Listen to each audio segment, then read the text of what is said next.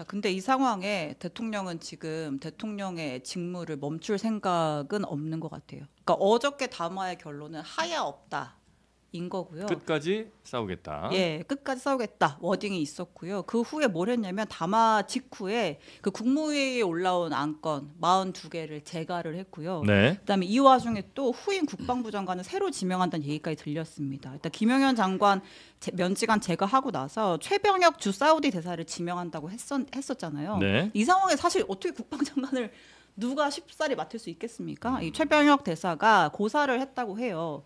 그리고 나서 대통령이 또 새로운 인물을 또 지명한다는 얘기가 들립니다. 네. 네, 한기호 국민의힘 의원인데 한기호 의원도 군 출신이고요. 우리가 그 문자 논란 있었던 거 아실 거예요. 그때 이제 북한한테 어 우리가 우크라에 어 파병해가지고 이제 북한군 거기서 공격해가지고 그거를 대북 심리전에 이용하면 어떻겠느냐 아, 이 문자 네. 보내서 논란됐던 인물 있잖아요. 이분을 또 지명을 하려고 했다라는 거고. 음. 그 이 시점에 이런 거 하는 거 매우 부적절하다. 네. 한동훈 대표도 강하게 얘기를 하고 있는 그런 상황인데 음. 앞서도 얘기가 잠깐 나왔지만 대통령은 지금 하야는 없다. 탄핵할 테면 해라. 구속할 테면 해라. 주변에 이런 심경을 밝혔다라는 거잖아요. 구속이 네. 난 당연하다고 본다. 그래도 난 끝까지 싸운다라고 하면서 변론 요지서를 내가 직접 쓰겠다. 이런 얘기도 지금 주위에 했다라는 거죠. 아, 본인의 예. 탄핵 심판에서 변론 요지서를 예. 직접 본인이 쓰겠다. 예, 그리고 탄핵 헌재 가서 탄핵 심판 열리면 예. 내가 직접 나가겠다. 혹시 박근혜 변호사를 대통령은 못 구한 건가요? 모르겠습니다. 아니 변호사를 구했겠죠. 네. 근데 그 저는 정치적인 어떤 선언 같아요. 네. 내가 직접 쓰겠다, 내가 강하게 나가겠다, 물러서지 않겠다 그 얘기지. 본인이 음. 변론 조치 써봤자 뭐 구구 유튜버 수준의 변론 조치 쓰지 않겠어요? 어떻게 쓴지 한번 좀 궁금하긴 아니 하네요. 궁금하긴 한데 변호사들이 저는 담화문도 좀 옆에서 조언을 했다고 봅니다. 법률적 어. 조언이 충분히 들어갔다고 보고요. 네. 변론 조치 직접 쓰셨으면 좋겠어요. 그러면 영장도 다 인용이 될 것 같고요. 네. 뭐 재판부도 그 부분에 대해서는 그냥 아 할 말이 없구나라고 생각하지 않을까 아, 생각합니다. 근데 국방장관이 사실 공석에 있는 것도 좋은 일은 아니긴 하죠. 그래서 그렇죠. 어, 있긴 있어야 되는데 지금 대통령이 물러나지 않는 이상은 사실 국방장관 임명이나 이건 대통령이 할 수밖에 없는 거잖아요. 다른 사람한테 뭐 맡길 그렇죠. 수가 있는 게 아니니까. 그 그러니까 이- 지금 이 제도의 불비라는 거잖아요. 네. 지금 이제 대통령을 직무에서 즉시 배제하자. 음. 저희 당도 이제 한동훈 대표 중심으로 그런 의견이 있는데 그럴 수 있는 방법이 없으니까요, 제도적으로. 스스로 물러나지 않는 이상. 그렇죠. 선의에 기대한다는 말씀을 드렸었잖아요. 예. 그래서 이 상황은 굉장히 야권에서 볼 때는 음. 위험하다고 볼 수 있는 상황이라고 저도 봅니다. 네. 네. 윤석열 대통령은 어제 대국민 담화에서 자진 퇴진할 뜻이 없음을 분명히 했습니다.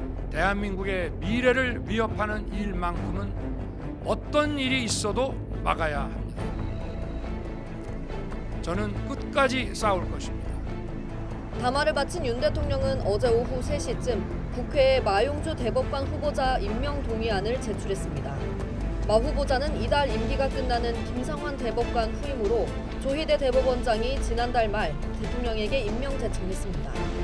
윤 대통령은 지난 7일 담화에서 국정을 당과 정부에 맡기겠다는 입장을 밝혔지만 정반대 행보를 보이고 있습니다. 7일 이후 국무회의에서 의결된 안건 42건을 제거했고 이상민 행정안전부 장관과 유혁 법무부 감찰관의 면직을 제거했습니다. 윤 대통령이 인사권과 행정권 등 대통령으로서 권한을 계속 행사하면서 야당을 중심으로 거센 비판이 나오고 있습니다. 그런데 윤 대통령은 12.3 내란 사태 이후로도 대통령의 권한을 계속 행사하고 있습니다. 김용현 전 국방부 장관의 후임자를 다시 찾는 걸로 확인이 됐는데 군 장성 출신인 국민의힘 한기호 의원이 거론됩니다. 윤 대통령의 군 통수권 행사 시도에 야권은 물론 한동훈 국민의힘 대표도 대단히 부적절하다는 뜻을 밝혔습니다. 이재승 기자입니다. 지난 7일 대통령에 대한 탄핵안 표결을 앞두고 윤석열 대통령이 대국민 담화를 발표합니다. 국민 여러분, 저의 임기를 포함하여 앞으로의 전국 안정 방안은 우리 당에 일임하겠습니다. 대통령의 권한을 사실상 여당인 국민의힘에 맡긴다고 밝힌 겁니다. 그러나 이 말은 지켜지지 않았습니다. 윤 대통령은 지난 5일 김영현 국방부 장관의 사의를 수용하고 신임 장관 후보자로 최병혁 주 사우디아라비아 대사를 지명했습니다. 이후 최 지명자가 후보직을 고사했고 윤 대통령은 후임자를 다시 물색 중인 것으로 확인됐습니다. 후임 장관 후보로는 삼성 장군 출신의 국민의힘 한기호 의원이 거론됩니다.